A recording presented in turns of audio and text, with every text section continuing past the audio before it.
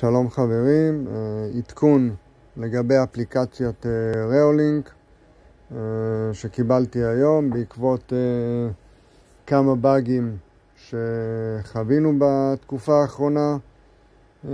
באג אחד לגבי מסך מפוצל עם ריבוי מצלמות, באג שני במצלמות ריאולינק דו, לא ראינו את שני, שתי התמונות מהעדשות.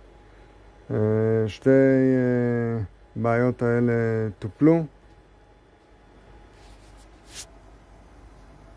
הגרסה היא 43302.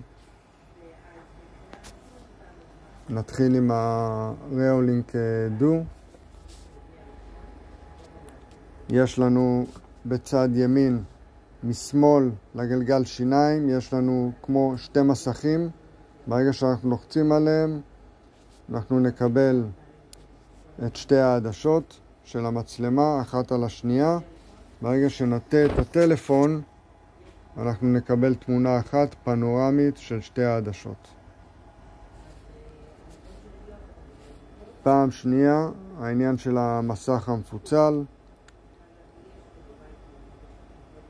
מתחברים למצלמה אחת, במידה ורוצים לראות עוד כמה מצלמות שיש לנו בטלפון, אנחנו מתחת לשלוש נקודות יש אייקון כמו של אה, טלפון, של מסך, לוחצים עליו, יש לנו פה את המסכים המפוצלים לבחור, בחרתי מסך מפוצל של תשע, מעלה את כל המצלמות רואים את כל המצלמות ללא בעיה.